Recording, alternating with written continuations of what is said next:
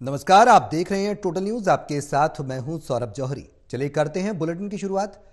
शिक्षा मंत्री कंवरपाल गुर्जर कैथल में एक जनसंवाद कार्यक्रम में पहुँचे, जहाँ उन्होंने लोगों की समस्याएँ सुनी। इसके साथ साथ वहाँ मौजूद लोगों को संबोधित भी किया। इस दौरान उन्होंने कई विषयों को उठाया, जिनमें परिवार पहचान पत्र, सीएम विंडो से सुनी, शिकायतों पर बात की।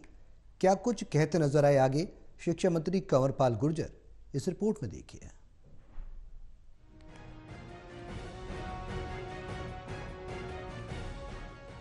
हरियाणा के शिक्षा मंत्री कंवरपाल गुर्जर कैथल में एक जनसंवाद कार्यक्रम में पहुँचे थे, जहाँ उन्होंने ग्रामीणों की समस्याएँ सुनी और उनका जल्द से जल्द निपटान का अधिकारियों को निर्देश दिया। वहीं इस दौरान उन्होंने लोगों को संबोधित भी किया, जिसमें उन्होंने सीएम मनोहर लाल के नेतृत्व में युवाओं को योग्यता के आधार पर बिना पर्ची, बिना खर्ची निकाल दिए जाने के बारे में बात कही। साथ ही वर्तमान सरकार में बिना किसी भेदभाव के हो रहे विकास कार्यों पर भी बात की। बहुत से काम कर दिए, जो बड़े काम थे, कहीं हॉस्पिटल बनाना था, कहीं कॉलेज बनाना था, कहीं आईटीआई बनानी थी, ऐसे जो बहुत से काम थे, वो सरकार ने कर दिए।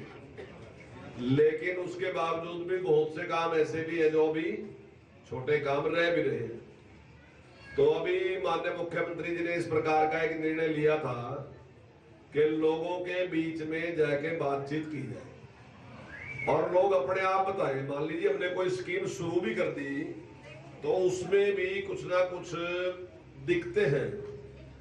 तो वो अपने मुँह से अपने आप बताए कि हमें ये समस्या हो रही ताकि हम उसको सुधार सके, ठीक कर सके। क्योंकि इस गाँव के अंदर गाँव वासियों की जो भी समस्या उस समस्या का समाधान और निराकरण करने के लिए आपके बीच में पहुँचे मेरा गाँव वासियों से भी निवेदन है कि जो भी आपकी समस्या है, चाहे बिजली की है, पानी की है, अस्पताल की है, सड़क की है, गली की है, स्कूल की है, कोई भी समस्या है, वो जिस भी व्यक्ति की समस्या है, वो एक एक करके यहाँ पर आए वहीं इस दौरान शिक्षा मंत्री ने जनसंवाद कार्यक्रम में लोक निर्माण विभाग, कैथल डिवीज़न के एसडीओ को कार्यक्रम में नहीं पहुँचने के कारण निलंबित करने के निर्देश दिए हैं।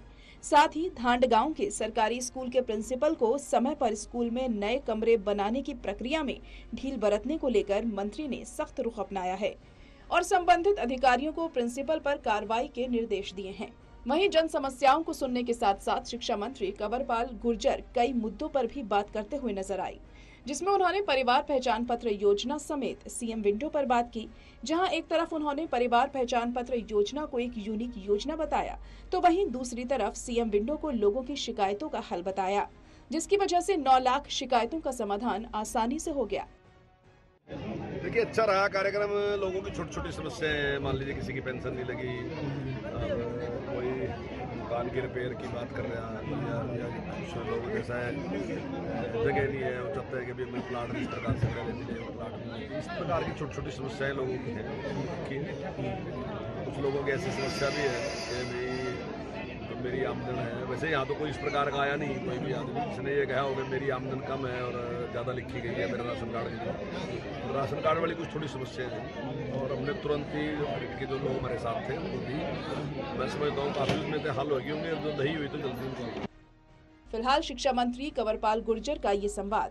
2024 के लोकसभा चुनाव की दृष्टि से टॉनिक का काम करने वाला साबित हो सकता है। वहीं देखना दिलचस्प होगा कि इस पर विपक्ष की भी आगे क्या प्रतिक्रिया देखने को मिलती है। कैथल से नवीन मल्होत्रा की रिपोर्ट टोटल न्यूज़